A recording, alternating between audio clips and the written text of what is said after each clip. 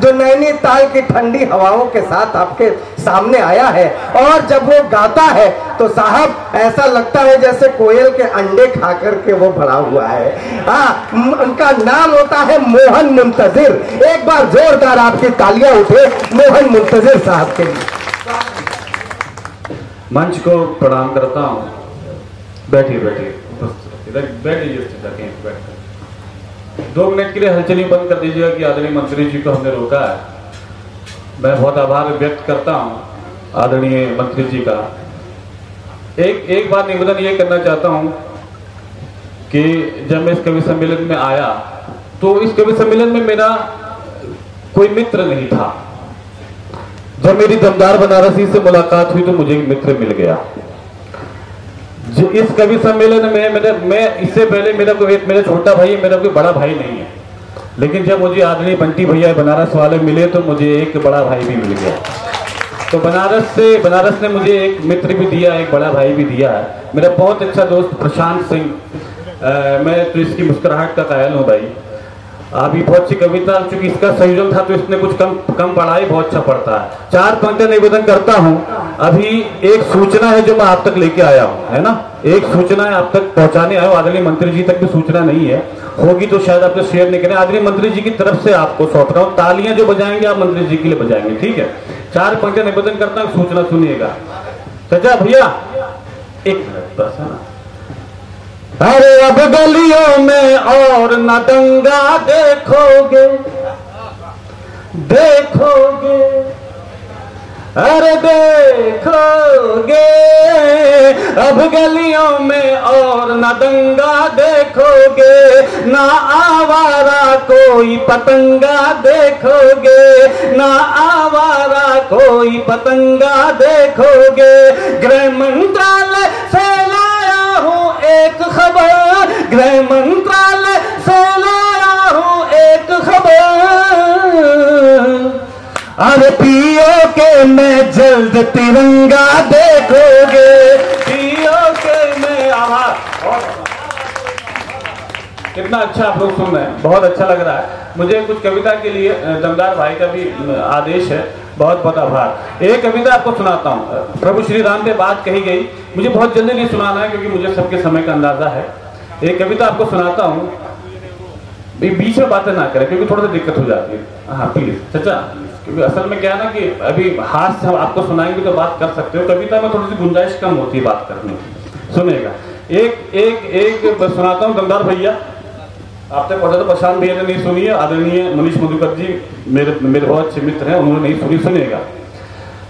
कौन है हम लोग? कौन है? सुनेगा।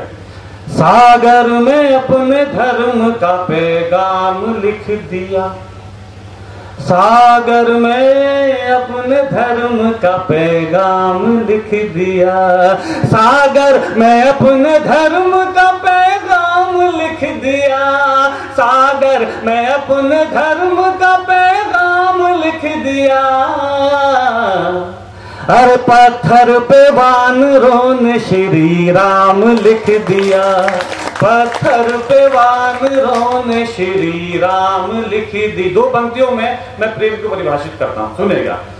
परिभाषा देवताओं ने जो पूछी प्रेम की परिभाषा देवताओं ने जो पूछी प्रेम की। परिभाषा देवताओं ने जो पूछी प्रेम की। परिभाषा देवताओं ने जो पूछी प्रेम की। कान्हा ने राधिका का तभी नाम लिख दिया। कान्हा ने राधिका का तभी नाम लिख दिए। गीत आपको विशेष सुनाता हूँ। मेरा मन इसलिए भी क्योंकि यहाँ पूरा हिंदुस्तान बैठा हुआ। एक गीत छोड़ छेड़ता हूँ, आदरणीय मंत्री जी का उपस्थिति रखते हैं। क्योंकि जब मैं यहाँ पे आया था तो प्रशांत प्रशांत जी ने, बंटी भैया ने दमदार भैया ने, आदरणीय मंत्री जी की बहुत तारीफ़ की थी, मैंने बहुत नाम सुना इनका। एक आपको गीत सुनाता हूँ, ठेठ हिंदुस्तानी गीत, है ना? यहाँ पे जितने भी लोग बैठे हुए सब हिंदुस्तानी है है ना? सब हिंदुस्तानी है। एक निवेदन साहब आपसे ये करना चाहता हूँ कि मेरा किसी भी पार्टी से मेरा किसी भी पार्टी से, भैया बैठो बैठो बैठो। मेरा किसी भी पार्टी से कोई भी नैतिक या अनैतिक संबंध नहीं है। मैंने बीजेपी का आदमी हूँ, मैंने कांग्रेस का आदमी मैंने सपा का आदमी हूँ, मैंने बसपा का आदमी हूँ, मेरी तो शादी भी नहीं हुई है, मैं तो किसी औरत का भी आदमी नहीं हूँ। एक निष्पक्ष गीत सुना रहा हूँ, साहब, है ना? अगर सरकार ने अच्छा किया तो हमें तारीफ़ करनी पड़ेगी। कोई सरकार अच्छा नहीं करती तो हम कभी लोग उसकी बुराई करते हैं। हमारा धर्म, हमारा काम वही है ना? एक हिंदुस्तानी गीत सुनाता हूँ, साहब। अधिकतर लोगों के जीवन में एक बार विदेश में बसने का अवसर आता है है ना? उन अधिकतर लोगों में से अधिकतर लोग उस अवसर को भुला भी लेते हैं। लेकिन साहब, कुछ होते हैं, ठेठ हिंदुस्तानी आपकी तरह जब उनके पास विदेश में रहने का अवसर आता तो क्या कहते हैं साहब, है ना? हिंदुस्तान की विशेषता बताता हुए गीत सुनाता सुनेगा। जब मेरे पास से अवसर आया तो मैंने क्या कहा था? नहीं नहीं नहीं नहीं नहीं नहीं नहीं नहीं नहीं नहीं नहीं नहीं मुझको नहीं जाना उस पार। नहीं नहीं, मुझको नहीं जाना उस पार। अपना तो हिंदुस्तान बढ़िया नहीं नहीं, मुझको नहीं जाना उस पार। अपना तो हिंदुस्तान बढ़िया वहाँ गोरों की होगी सरकार। अपना तो हिंदुस्तान बढ़िया नहीं नहीं, मुझको नहीं जाना जाना जाना जाना जाना। एक बात आपसे निवेदन कर दूँ साहब, हम कवियों के पास कोई वाद्य यंत्र नहीं होता। आपकी तालियाँ हमारे लिए वाद्य यंत्र का काम करती है ना? आपकी तालियों से बात का आकलन नहीं होता, हमारी कविता अच्छी की अच्छी नहीं है। आप जब ताली बजाते हैं तो हम कभी लोग सांस ले लेते हैं, है ना? इस गीत को सुनने का तरीका बता रहा हूँ, जब मैं कहूँ, मुझको नहीं जाना जाना जाना, तब आप ताली बजा देना, बाकी पूरा गीत सुनेगा, है ना? निवेदन करता हूँ, आप ताली बजा देना जब मैं कहूँ, मुझको नहीं जाना जाना जाना, ऐसा ना हो, मैं कहूँ, मुझको नहीं जाना जाना, आप ताली ना बजाओ और मैं चला जाऊँ। है ना? अब समझ गए ना, गीत गीत क्या सुनना है ना? बनारस वालों आप तो कविता सुनना जानते हो, मैं क्या आपको सुनाऊं? समझ गए कहा ताली बजानी चल जा? मुझको नहीं जाना जाना जाना जाना जाना जाना बहुत बहुत आभार, बहुत बहुत आभार साहब। होता क्या साहब, विदेश में जाने का एक साथ लालच होता है है ना? एक होता है ग्रीन कार्ड कौन कौन जानते हैं ग्रीन कार्ड हाथ खा कर बताइए ग्रीन कार्ड एक आदमी जानता है। चलो, मेरा आना सफल हो गया। है जो लोग नहीं जानते मैं उनको बता दूँ साहब जब आप किसी विदेशी महिला से शादी कर लेते हो तो आपको वहाँ रहने का अधिकार मिल जाता है उसे कहते हैं ग्रीन कार्ड है ना जी? लेकिन साहब कुछ लोग होते हैं ठेठ आधार कार्ड वाले। आधार कार्ड सबके पास है? तो सुनो हिंदुस्तान में ये बोल रहे हैं ना जब कोई विदेशी महिला साहब तो एक बात और बता दूँ कि सब अधिकतर विदेशी महिलाएँ इस ग्रीन कार्ड को बेचने के लिए हिंदुस्तान में आती हैं। तो मंत्री जी तो इस बात से ये साबित होता है। अधिकतर विदेशी महिलाएँ उस ग्रीन कार्ड को बेचने के लिए इस विदेश में ही आती हैं, है ना? मतलब इस हिंदुस्तान में आती है। तो इससे ये बात सिद्ध होती है कि पूरे ब्रह्मांड में पुरुषों की अगर कहीं खूबसूरत प्रजाति पाई जाती है तो वे हिंदुस्तान में ही पाई जाती है। अब एक आधार कार्ड वाले की तरफ़ से गीत मैं ये सौंपना सुनेगा। अरे मुझको नहीं कोई भी ग्रीन कार्ड चाहिए। मुझको नहीं कोई भी ग्रीन कार्ड चाहिए। आधार से तुमको घर जुड़ना हो आइए। आधार से तुमको घर जुड़ना हो आइए। आजा आ, आजा आजा आजा आजा आजा पहना दू साड़ी को गोटेदार अपना तो हिंदुस्तान बढ़िया। नहीं नहीं मुझको नहीं जाना जाना जाना। बहुत बहुत आभार साहब आपका। साहब, विदेश में रहने की दूसरी एक एक वजह और क्या होती साहब? आपको मालूम है, जब जब हमारे पास पैसे की कमी होती है ना सर, जब हमारे पास पैसों की कमी होती है तो हम विदेश की तरफ़ भागते हैं। लेकिन एक बात मैं आप सब लोग को बता दूँ कि जो जो हमें हिंदुस्तान में मिलता है ना, वो पूरी दुनिया में नहीं मिलता। बंद निवेदन करता हूँ, सुनिए। अरे जेब में पैसे ना हो, फिर भी बच्चे पलते हैं जेब में पैसे ना हो फिर भी बच्चे पलते हैं। बनिए की कॉपी में दो, चार खाते चलते हैं। बनिए की कॉपी में दो, चार खाते चलते हैं। वहाँ देगा ना कोई भी उधार। अपना तो हिंदुस्तान बढ़िया। नहीं नहीं, मुझको नहीं जाना जाना जाना।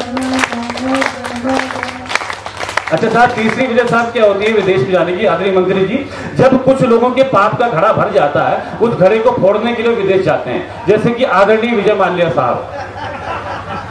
पूरा का पूरा पंजाब नेशनल बैंक खाली कर दिया साहब। मेरा भी खाता उसी में था, वो तो भला मोदी जी का। एक बात निवेदन करता हूँ, आप सब लोगों की तरफ़ से, है ना? आप, मैं हरिद्वार का रहने वाला हूँ, आप काशी के रहने वाले हो। निवेदन करता हूँ, आपकी तालियाँ वहाँ तक पहुंचाइएगा कि मोक्ष तो तुझे हिंदुस्तान में मिलेगा। अब निवेदन करता सुनेगा। अरे लंदन में ना तेरे पाप धुल पाएँगे। लंदन में ना तेरे पाप धुल पाएँगे। हरिद्वार आजा प्यारे, गंगा नहाएँगे। हरिद्वार आजा प्यारे, गंगा नहाएँगे।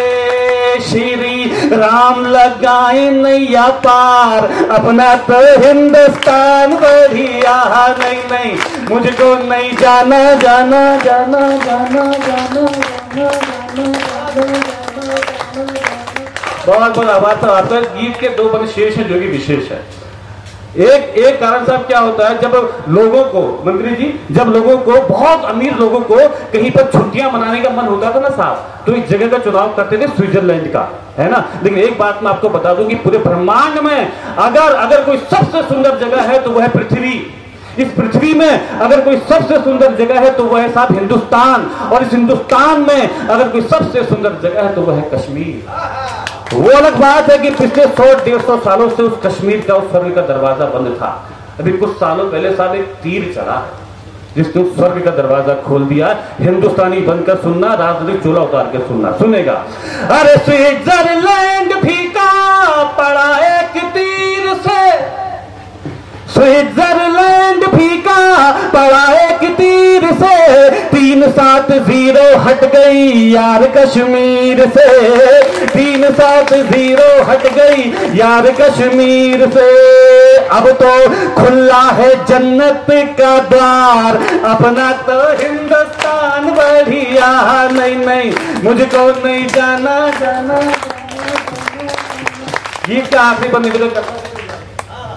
गीत का आखिरी पर निवेदन करता हूँ। ये बंद आदरणीय बंटी भैया हैं, है ना? ये बंटी भैया बनारस वालों की तरफ़ से सौंपता हूँ, साहब। मैंने ईश्वर से प्रार्थना की है, काशी के लोगों, ईश्वर से प्रार्थना की है। अगर वही प्रार्थना आपकी प्रार्थना हो, तभी ताली बजाना छोटी ताली मत बजाना, आपको कसम है। है ना? गंगा किनारे बैठे हो। मेरी प्रार्थना ही अगर आपकी प्रार्थना हो, तभी ताली बजाएगा। निवेदन करता हूँ सुनील दमदार भैया। अरे जय हिंद बोलो मेरी किस्मत में लिख देना। জয় হিন্দ বলো मेरी किस्मत में लिख देना। अगला जन्म भी मालिक भारत में लिख देना। अगला जन्म भी मालिक भारत में लिख देना।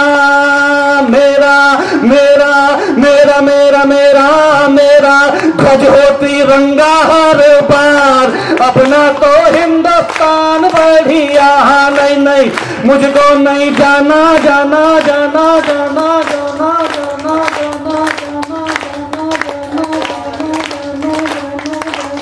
Volta!